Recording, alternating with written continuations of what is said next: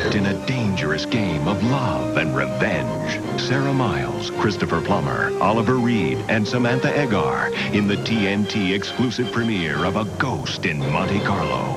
Monday night at 8 Eastern.